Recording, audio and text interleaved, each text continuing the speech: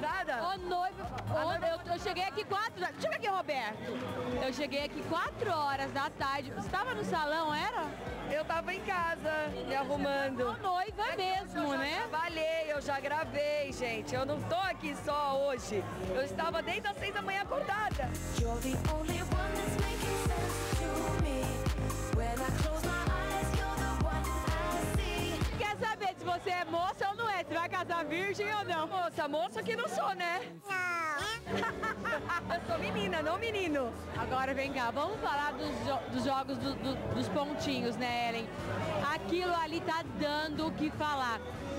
Vocês fizeram uma brincadeira, vocês estão passando do limite. Gente, Desse do, não, eu- do limite eu acho Não, ótimo. aqui não tamo, não. Ah, Já não, tô não, desde- não, peraí, vamos duas perguntas. Vem cá. Brincando com a Lívia, Lívia brincando com você. O Silvio perguntou quem é que foi o seu padrinho na televisão. Afinal, fazendo um balanço da sua carreira, você tá muito bem, muito tempo de, de carreira, mas linda, com esse olho azul, talentosa. Você teve um padrinho? Pode falar que o Gugu, ele foi seu padrinho? Gente, assim, eu comecei lá com o Gugu, né? Participando do programa Domingo Legal. E as coisas foram acontecendo. Eu até eu chegar a trabalhar com o Silvio, ele me conheceu e eu fui trabalhar com ele na telecena.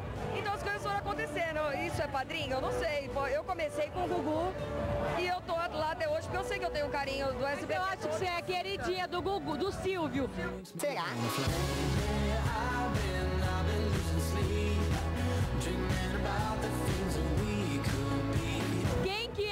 Forte ali na pra você?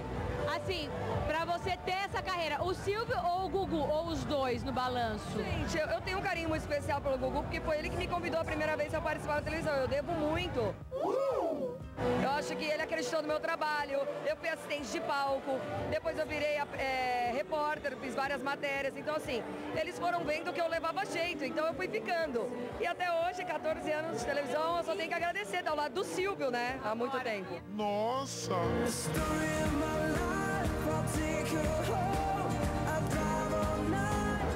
Vestido da Lívia Andrade com os peitos de fora, o Silvio falou que se a Patrícia chegar em casa daquele jeito, ela não entra. Também não entro. Nossa! Não pode ter certeza que eu não uso. A Lívia comentou aí na rádio que a gente estava com ciúme, com inveja. Imagina, eu não vou ter inveja daquilo que eu não, go- não acho bonito, assim. bom. Ela tava bonita, ela pra usar. Também tem, Ellen. Tenho, gente. Agora Assim, vem eu cá. não teria coragem porque é muito sexy demais. Muito! Mas eu gosto de vestido sexy. E você pode. Eu não usaria, eu- tava bonito nela. Eu não teria coragem de usar, mas tava lindo nela, imagina.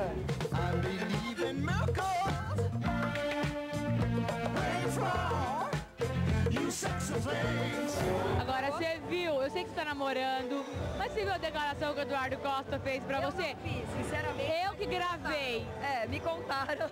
Eu não vi. Poderosa. E eu só tenho que, assim, como eu, eu, avis- eu falei com ele, eu só tenho que agradecer, eu agradeci todo o carinho, toda a admiração que ele tem por mim. Eu acho que é bonito você, é bonito você terminar uma história e a pessoa continuar tendo esse, só guardar lembranças boas sobre você. E eu tô super feliz por ele guardar só as lembranças boas, porque eu acho que eu só fiz o bem pra ele, né? Então ele não tem muito o que falar sobre mim.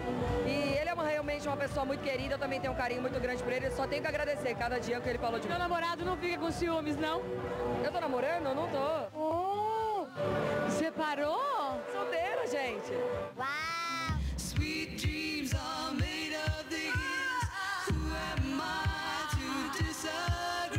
Ellen Ganzaroli pode até dizer que está solteira, mas segundo uma revista, ela está sim namorando.